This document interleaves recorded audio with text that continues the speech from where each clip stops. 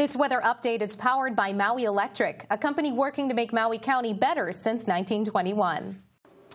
Happy Aloha Friday, everyone. I'm meteorologist Todd Nelson with a look at your local forecast. And we continue to watch Tropical Storm Darby as it inches closer to us here in the islands. And tropical storm watches have been posted for us in Maui by the National Weather Service. And what that means is that tropical storm force winds of 39 miles per hour or greater are expected. And that could lead to some damage, even down trees and power lines. Along with that comes some heavy rain and inland flooding. And one of the biggest concerns really will be the high and dangerous surf. We're talking 10 to near 20 20-foot swells. So please keep informed of the latest forecast. Stay away from the beach. Not a good place to be during this storm system. And, of course, secure any outdoor loose lawn furniture as the winds start to pick up. That could blow around and cause even more damage to your property. So take a look at the north and east facing shores. We're talking some 10 to near 20-foot swells. And the latest forecast takes Darby even closer than previous forecasts. So that will just ultimately intensify the overall inland flood concern, the dangerous surf, and also the damaging wind potential. One particular model takes it almost directly over the Big Island and Maui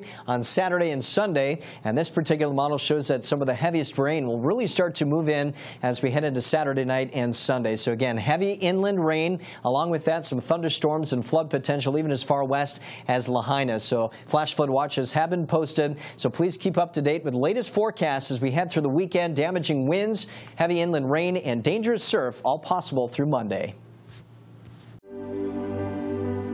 In any calm, in every storm. We'll be there to fill the darkness and put our hearts into our work to make sure you can do yours.